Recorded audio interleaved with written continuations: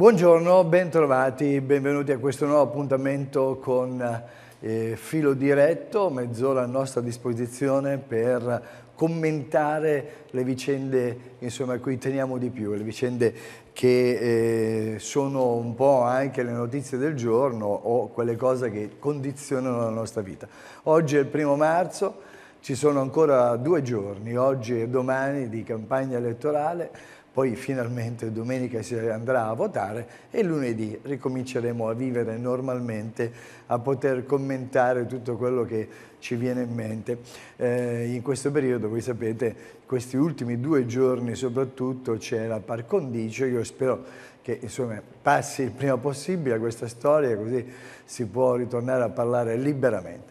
Il nostro numero telefonico è 0131 23 10 92, eh, sempre sulla vicenda politica vorrei dire che eh, non è semplicissimo, però eh, cominciate a orientarvi su come si vota.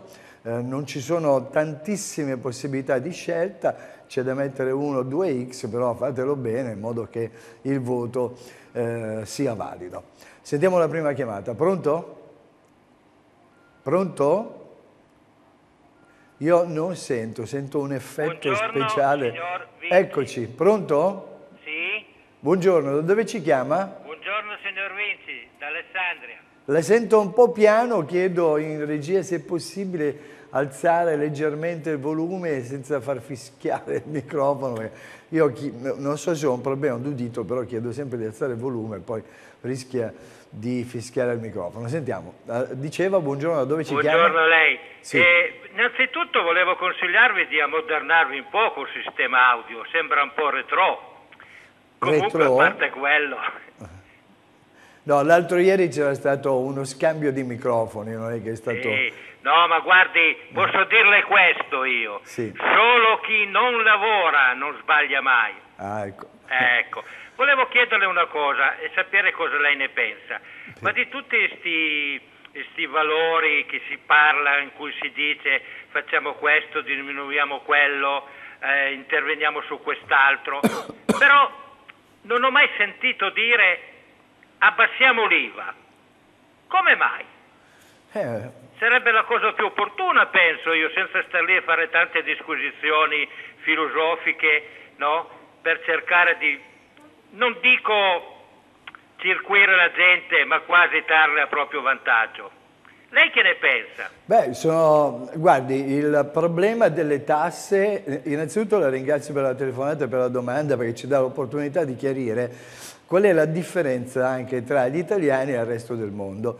Eh, in tutto il mondo eh, il problema delle tasse è il problema centrale, no? si tenta di alleggerire la pressione fiscale perché tutte le volte che si toglie un punto alla pressione fiscale in qualche modo si lascia a disposizione della gente un margine di ricchezza, diciamo in pratica più soldi che permettono di aumentare eh, i consumi, che permettono quindi di eh, comprare tutto ciò che producono che so io, le industrie, gli agricoltori, eccetera, eccetera, e questo mette in moto l'economia, rende un po' più ricchi tutti. Ogni volta che la tassazione supera quel livello di normalità che, dovrebbe, che è naturalmente giusto che ci sia per ottenere mh, dei, dei servizi, Ecco, allora diventa una specie di depauperamento, no? cioè in pratica si impoverisce la ricchezza di tutta la gente e ci sono meno soldi in circolazione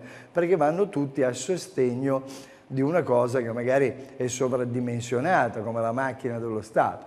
Allora, le campagne elettorali dovrebbero essere anche prese in considerazione da, da noi soltanto nel caso in cui ci promettono e poi mantengono naturalmente di diminuire le tasse, IVA naturalmente compresa. Sentiamo un'altra chiamata, pronto?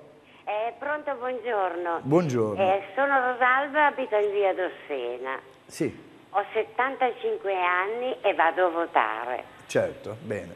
E vorrei dire una cosa, eh, agli alessandrini, agli italiani, non credete a chi fa troppe promesse perché non è possibile mantenerle qui in Italia.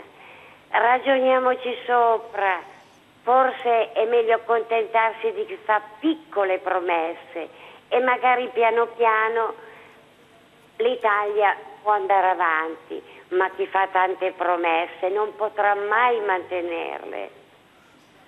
Grazie signora, grazie per il suggerimento, per la riflessione. Penso che la cosa sia condivisa al punto che oggi eh, parecchi giornali in prima pagina pubblicano proprio una riflessione eh, su questo fatto, sulle promesse che eh, vengono ripetute in ogni campagna elettorale, un po' da tutti, eh, non è che c'è qualcuno che ne fa di più, un po' da tutti e che poi ovviamente non, non vengono messe in atto successivamente.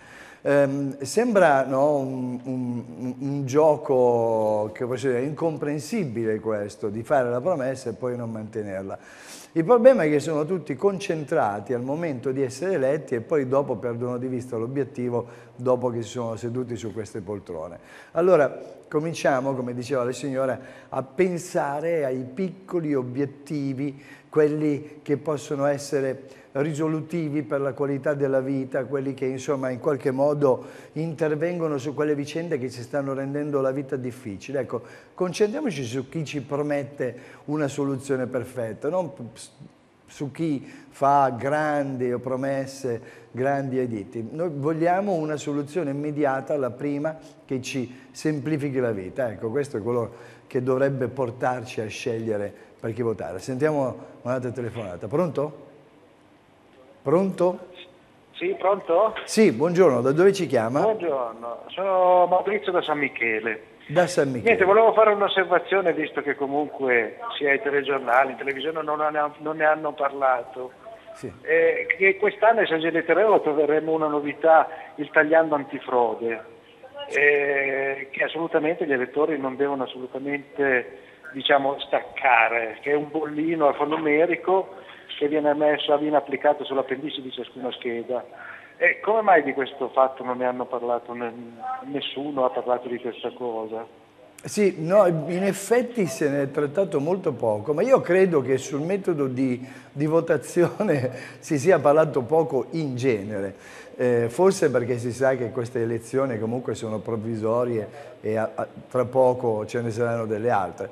Però in effetti è una cosa giusta, questo numero, questo adesivo che è stato messo sulle schede e che sarà tolto solo all'ultimo secondo prima di imbucarle no, nell'urna, ehm, questa cosa comporterà ulteriori rallentamenti nel procedimento eh, diciamo, di, di, della votazione, quindi potrebbero sì, esserci delle cose. Anche perché se l'elettore non sa di che cosa si, si tratta, c'è il pericolo certo. che comunque eh, lo possa staccare, quindi c'è anche l'annullamento della scheda del voto. Certo, caso, sì, diventa nullo. Grazie, eh. grazie per il suggerimento. In effetti Prego. io... Grazie. Eh, vi consiglio, no? perché eh, ovviamente eh, televisioni, compresa la nostra, eh, fanno una campagna di informazione sul metodo di votazione, c'è un video istituzionale sul uh, sito del governo italiano, ma anche su quello delle prefetture, credo, che ci insegna come bisogna votare per non rendere nullo e vanificare quindi il nostro sforzo anche di essere usciti di casa ed essere andati nel seggio a, a votare. Eh, bisognerebbe guardare su internet chi è che ha un telefonino, un uh, computer, no?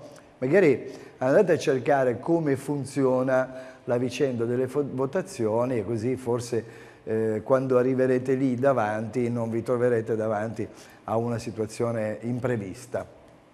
Anche solo per studiare come è formata no, la, la, la, la, scheda elettorale, eh, per riflettere prima, ci sono simboli, sapete, che mh, mm, mm, delle volte sono quasi completamente sconosciuti.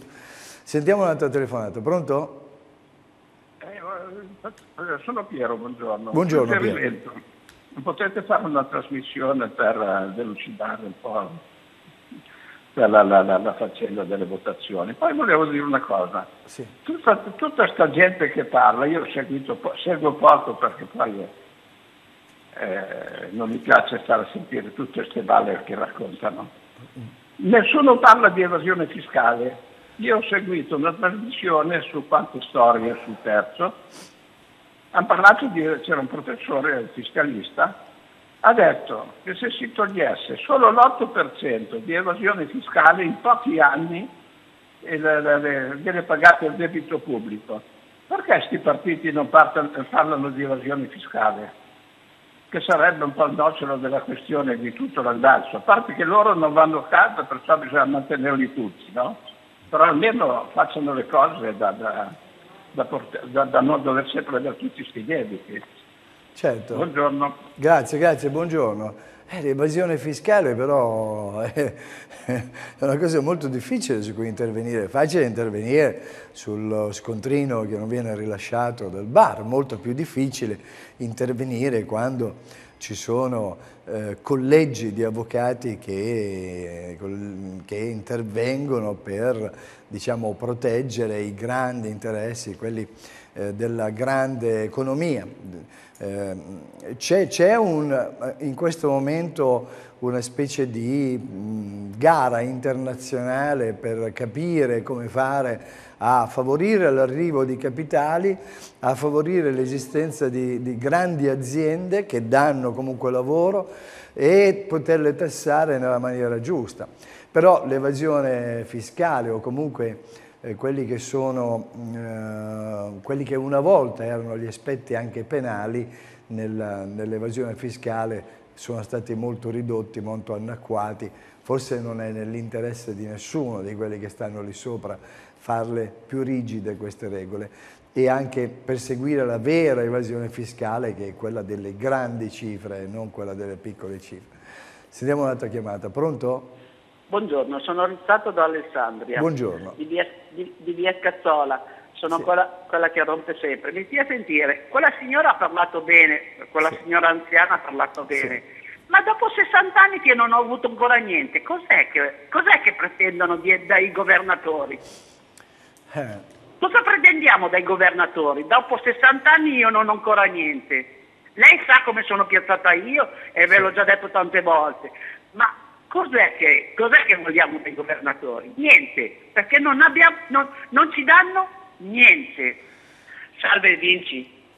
Grazie signora per la segnalazione e per averci ricordato il fatto che in effetti da sempre sono stati molto pochi gli interventi eh, diciamo in favore di un miglioramento della situazione generale. Eh, avete visto tutto ciò che è successo nell'ambito delle comunicazioni ferroviarie per un po' di neve che è arrivata nei posti dove non erano abituati ad avere la neve. Avete visto eh, tutto ciò che sta succedendo per la mancanza di manutenzione in uh, molte eh, situazioni, dal croll, dai crolli alle frane, eccetera, eccetera. Eh, però ancora più grave ritengo che ci sia tutta una nuova generazione di ragazzi che meriterebbe di poter trovare un posto di lavoro e che se non si mette in moto l'economia non troveranno. E questa è la cosa più grave, questa è la cosa che avrà delle conseguenze tra 5, 6 o 10 anni al massimo in cui ehm, l'economia sarà veramente ridotta eh, in un modo che non permetterà più a nessuno, poter, o a gran parte degli italiani, eh, di poter avere una famiglia, di poter comprare una casa e fare tutte queste cose se non avrà un lavoro vero. Oggi c'è la notizia che forse sta diminuendo la disoccupazione, che forse ci sono delle buone eh, prospettive dal punto di vista economico, ma che secondo me dipendono molto da quello che fanno gli altri paesi, che ci trascinano questa volta verso l'alto per fortuna. Ma sentiamo un'altra telefonata, pronto? Pronto, buongiorno. Signor buongiorno. Io telefono perché ho letto oggi sul giornale locale che mettono dei visori per, come si chiama, dare l'attenzione agli automobilisti che ci sono le strisce pedonali. Sì. Io abito uh, quasi a Solero, sulla strada. Uh, uh, la sento un po' piano, parli un po' più forte. Sì, chiedo scusa. Io abito sulla strada di San Michele per, per, per, per Solero sì. e eh, abbiamo anche noi tre o quattro visori sulla strada sì. per queste strisce pedonali. Sono, eh, il vento li ha girate cinque anni fa, sono rivolte all'incontrario e bene o male abbiamo chiamato la provincia perché sono sotto gestione della provincia non è mai venuto nessuno a metterli a posto e bene o male mi chiedo che adesso li mettono anche il comune in Alessandria sono di nuovo forse dei soldi di dispersione e basta, perché poi dopo le manutenzioni non gliele fanno quando succedono i problemi, nessuno le mette a posto. Grazie. Grazie, grazie per la segnalazione. In effetti anche questo è quello che dicevamo l'altro ieri, cioè noi oramai siamo stanchi di ripetere che le segnaletiche stradali andrebbero curate di più. La, la, la competenza distribuita tra strade comunali, provinciali, autostrada, autostrada X e autostrada Y che si incrociano, quindi competenze diverse, fanno sì che poi la segnaletica non è assolutamente all'altezza. A me è capitato l'altra sera di andare a Sezzadio, devo dire non è un posto lontanissimo da Alessandria, è su una direttiva importante verso Acquiterme, città turistica, eccetera, eccetera. Pioviginava, c'era un po' di nebbia e eh, i cartelli dove c'era segnalato l'indicazione eh, per mh, prendere la strada giusta allo svincolo erano completamente sbiaditi. Cioè, neanche con la luce eh, dell'automobile, quindi con gli abbaglianti, si illuminavano. Normalmente queste scritte, queste indicazioni stradali dovrebbero essere tipo fluorescenti, no? quando arrivano le luci della macchina si dovrebbero illuminare, invece niente, completamente sbiadite. Ma questo succede da anni. Io abito qua, naturalmente conosco le strade, ma pensate chi non abita da queste parti che deve prendere a uno svincolo deve scegliere da che parte andare e non vede l'indicazione giusta. O uh, tutte queste indicazioni fuorvianti, Alessandria si può arrivare da fuori, Alessandria, Alessandria, Alessandria, c'è scritto da tutte le parti ma uno non sa se arriva ad Alessandria Nord, Alessandria Sud, Est, Ovest. Eh, tutta una serie di problemi anche sull'indicazione che poi ti dicono sì, Alessandria sta da questa parte, però poi improvvisamente ti trovi davanti a un bivio che dice Torino-Genova, Piacenza-Brescia. E tu dici, e allora Alessandria dove l'hanno spostata? Da che parte starà? Uno deve conoscere la cartina a memoria. Sentiamo un'altra chiamata. Pronto? Signor Vinci, buongiorno. Buongiorno. A proposito di tutto quello che giustamente lei dice, sì. io vorrei chiederle i nostri operatori ecologici, se dobbiamo ricercarli su chi li ha visti e il sindaco chi l'ha visto, perché mi dà l'impressione che Alessandria non sia neanche più nella cartina geografica. È la mia impressione, io sono nato qui, spero di morire qui, però avrei il piacere, come me, tante persone di vedere almeno qualche cosa di cambiamento. Eh, non chiedo molto, un po' d'ordine, un po' di civiltà da parte del comune verso i suoi cittadini che l'hanno votato, ma io non ho votato più nessuno, sono tranquillo. Stia bene, buongiorno. Grazie, grazie, buongiorno. Beh, l'insoddisfazione generale di tutti noi che sentiamo dire tutti i giorni promozione turistica, Alessandria deve essere, eh, come un po' tutte le città devono essere promosse dal punto di vista turistico e, e, e tutto no? serve a rendere più nota una città e anche l'esistenza di una città. Voglio dire, eh, se l'Alessandria Calcio arriva a un certo livello o se la Juventus vince la Coppa dei Campioni o arriva lì in alto, eh, Torino diventa più famosa nel mondo, in Europa e Alessandria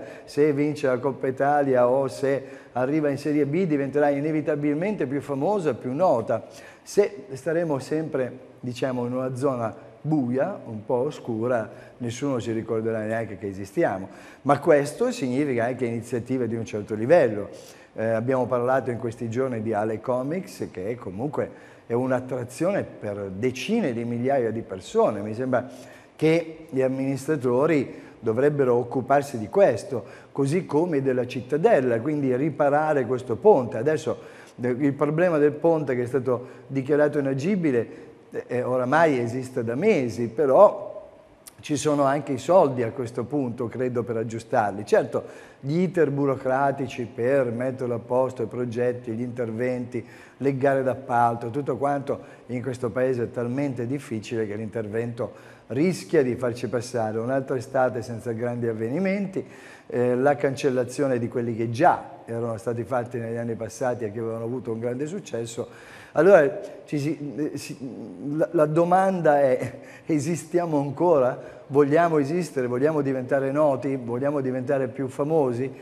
Eh, dobbiamo favorire anche gli interventi dei privati che aiutano la somma di tutti questi interventi del Presidente della squadra di calcio piuttosto che di coloro che organizzano un grande evento come Ale Comics, servono no? a rendere più popolare e più importante una città. Eh, io non so se c'è altra telefonata, se ho capito bene o no, però pronto? Ci provo. Pronto? Pronto? Sì, buongiorno, da dove ci chiama? Buongiorno signor Vinci, chiamo da Alessandria, sono Gino. Buongiorno Gino. Sì. Eh, volevo chiederle una cosa, a riproposito di quello che ha detto quel signore che sì. non si vedono più gli spazzini, una... secondo me non si vedono neanche più i vigili in giro perché tolto le multe che fanno gli ausiliari del traffico, anche per una cosa mi sembra che non... Io, come tanti, avranno sul telefonino un'applicazione che lei digita una targa e vede se è assicurato o no questa macchina. No. Io ogni tanto così per curiosità, ma ce ne sono parecchie che non sono assicurate, eh, cioè nessuno si preoccupa, a parte il divieto di sosta, di vedere appunto eh, di multare questa gente o quelli che guidano telefonando. I vigili in Alessandria sono spariti o saranno negli uffici forse, non lo so. Eh, Sicuramente me, sono va bene, adesso siamo in par condition, non si sì. può parlare, eh, la settimana prossima parleremo. Esatto, la settimana prossima finalmente saremo liberi. Grazie eh, Gino per la telefonata. Prego, buongiorno. Grazie. Beh, c'è da dire che eh, il problema dei vigili che sono sottodimensionati è noto da tanti anni, eh. ci, eh, ci andrebbe un numero doppio dei vigili per ehm, diciamo, ottemperare a quello che è il minimo necessario per diciamo, tenere d'occhio anche la città e offrire un certo tipo di servizi. Però se poi mancano i soldi non si possono assumere, se il bilancio del comune non è sufficiente nelle entrate non si può spendere di più, allora tutto resta sottodimensionato. È quello che dicevo prima, no? che in fondo la macchina dello Stato, così come eh, diciamo tutto l'apparato che già esiste eh, per molti versi diciamo non proprio ehm, importantissimo per il funzionamento della città ma sovradimensionato poi va invece a, a, a mm, incidere su quei servizi necessari che mm, sarebbero anche più urgenti come la presenza di vigili in città eh, una presenza superiore poi sappiamo quando ci sono le manifestazioni ormai dei vigili non bastano. La polizia un, eh, chiaramente deve fare il proprio mestiere e non basta. Abbiamo visto che ormai quando c'è una grossa manifestazione deve intervenire la protezione civile a controllare i varchi della città, eccetera, eccetera. Non è del tutto normale eh, questo che dobbiamo sempre mobilitare la protezione civile. Sentiamo un'altra chiamata. Pronto? Buongiorno. Pronto? Sì, buongiorno, da dove ci chiama? Oh, buongiorno, chiamo da Alessandria, mi chiamo sì. Margherita e volevo una, una, dire una cosina eh, quel signore che dicevano prima che il, il, sindaco non esiste, eccetera, eccetera. Basta un po', Dani. Eh, sì. Ma sono usciti di casa questa mattina quei signori, perché noi siamo usciti e abbiamo visto primo il sottopasso di via, via Maggioli, che è un punto abbastanza pericoloso c'era quattro dita di sale, quindi non un filino di, di, di, di, neve, di ghiaccio, eccetera. Le strade purtroppo sono come sono, è logico perché è nevicato stanotte. E poi abbiamo visto pulizia delle piante, insomma qualche cosa l'abbiamo visto, non si può dire proprio sempre che non fanno niente questi poveri sindaci. E porca miseria, no? Giusto, giusto. Qualche cosa si è visto, non è vero? Certi vigili bancano, quello sì, ma speriamo, noi speriamo in seguito che ci sia un po' di controllo. Okay? Certo. Grazie, grazie per la telefonata, eh, anche perché mh, eh, questo eh, è importante no? che si dicano anche le cose che sono state risolte, quelle che adesso funzionano. È giusto segnalare le cose che non funzionano, però è anche giusto dire ok, adesso il problema è stato risolto. Cioè non dobbiamo chiamare solo per dire che eh, ci sono problemi. Quando poi qualcuno è intervenuto e l'ha risolto, dobbiamo rendere merito, dobbiamo ringraziare. In via Maggioli c'era stato l'episodio del ghiaccio che era stato segnalato un po' su tutti i giornali, che si era formato improvvisamente, eh, sono intervenuti operai, ma con tanto di piccone, con tanto di pala, hanno ripulito dal ghiaccio e poi è stato messo eh, la, la, la, la, sabbia, quindi il sale. Quindi a questo punto eh, direi che l'intervento c'è stato, ma come c'è in tantissime parti della città l'intervento degli operatori ecologici che lavorano pur avendo tutta una serie di problemi sui mezzi, eccetera, eccetera, però comunque eh, esiste. È anche vero che in qualche zona, qualche volta, ci sono stati un po' eh, di problemi, di difficoltà, ne abbiamo parlato più volte eh, di via rivolta, ma ci sono anche molte occasioni in cui tutto funziona. Eh, siamo arrivati al termine, eh, adesso vi lascio il telegiornale. Ci rivediamo domani per l'ultima puntata preelettorale. Grazie per l'attenzione.